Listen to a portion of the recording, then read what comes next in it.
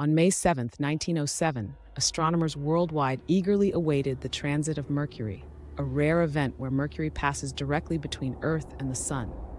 Occurring only 13 to 14 times per century, this phenomenon was crucial for refining planetary orbits. At Greenwich Observatory, teams calibrated brass telescopes and calculated Mercury's predicted path using Newtonian mechanics. Historical records show such transits help measure the astronomical unit, the Earth Sun distance, with unprecedented precision. As the clock struck 1112 UTC, Mercury emerged as a crisp black dot against the Sun's fiery chromosphere, only 1 194th of the solar disk's diameter. Early 20th century astronomers noted the black drop effect, where Mercury appeared to cling to the Sun's limb due to atmospheric distortion.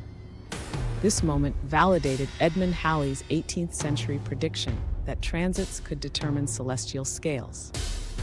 Spectrograph plates captured Mercury's silhouette with unprecedented clarity for the era. For over five hours, Mercury traversed the solar disk at 48 kilometers per second, its path meticulously charted using heliometers. Astronomers discovered the planet's lack of atmosphere as its silhouette remained sharply defined against solar granulation. This 1907 transit was particularly significant, occurring during solar minimum. It allowed clearer observations than during active periods.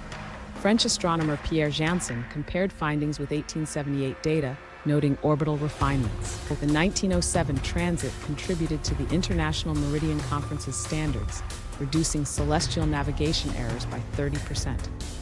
Glass plate negatives from this event helped Einstein test relativity in 1915.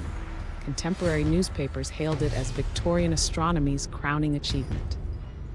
Today, NASA uses transit data from this era to study Mercury's orbital decay, proving these century old observations still fuel modern discovery.